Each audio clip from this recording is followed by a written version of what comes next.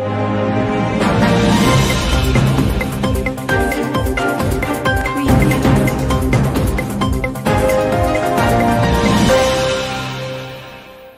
నిర్మల్ జిల్లాలో దొంగలు రెచ్చిపోతున్నారు. పగలు రాత్రి తేడా లేకుండా వరుస దొంగతనాలతో రెచ్చిపోయి ఇటు ప్రజలకు అటు పోలీసులకు కంటి మీద కునుకు లేకుండా చేస్తున్నారు. తాజాగా కుంటాల మండలంలోని కల్లూరు గ్రామంలో నాలుగు ఇండ్లలో చోరీకి పాల్పడ్డారు. నాలుగు తులాల బంగారం తొమ్మిది తులాల వెండి ముప్పై వేల రూపాయల నగదు దోచుకెళ్ళారు. గత ఇరవై రోజుల క్రితం ముదోల్ బైన్సా పట్టణాలలో వరుస దొంగతనాలకు పాల్పడ్డారు. ఇకనైనా పోలీసులు దొంగల బారి నుండి తమను రక్షించాలని ప్రజలు కోరుతున్నారు.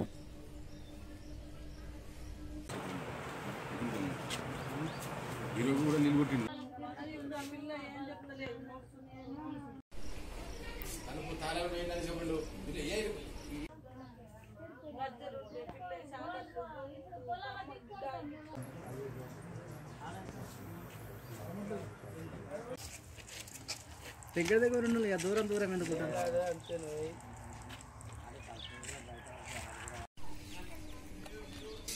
దూరం ఎందుకు